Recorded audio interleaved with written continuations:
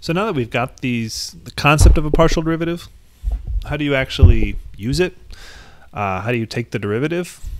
You're going to end up using exactly the same rules for a derivative, except that you have to keep in mind that anything you're not taking the derivative with respect to, you you just kind of ignore. You treat it as if it's any other number. Okay, so if I have an equation like uh, y is equal to uh, f of x z again, and I want to find the partial derivative of y with respect to x, then that means all uh, basically examples or instances of x, I mean, sorry, of z are just sort of treated like they're numbers, like no different than the number 2, 1, 6, whatever.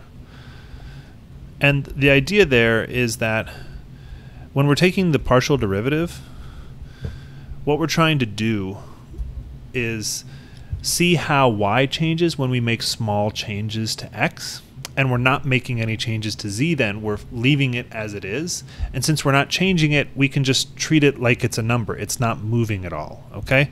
So let's look at a simple example okay? Suppose that uh, y is equal to x squared plus x times y not y times x plus x times z plus z squared. And we want to find the partial derivative with respect to x. The first one's pretty easy.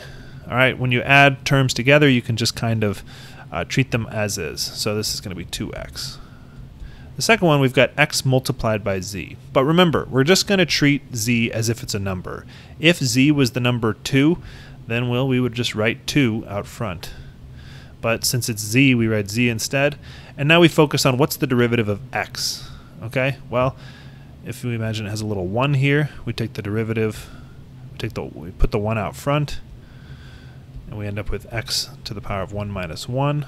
That's 0. And that means all of that stuff just, you know, disappears because x to the power of 0 is equal to 1. And so it turns out this is the partial derivative of y with respect to x. I didn't even talk about the last term, and that's because there's no x anywhere in it.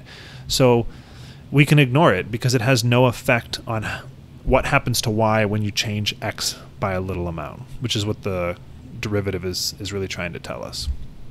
We could also find the partial derivative of y with respect to z. And now this first term has no z's in it. So if we make small changes to z, this has no effect on y. So we ignore it. It has zero effect. We can write zero. In this case over here, I didn't even bother writing it. The derivative of this guy, we treat the x as a fixed number now because we're taking the derivative with respect to, the partial derivative with respect to z. So we're going to just write x like we would write a number. And then the derivative of z raised to the power of 1 is just 1. All right? And then the last term is now z raised to the power of 2. We bring that exponent down, multiply it by z, and we have 2 minus 1 up here, which is equal to 1, so we don't even need to write that. Okay? And sorry. That's how you do it. Okay. So try the examples, uh, and I think that's a good way to practice if it's a little rocky.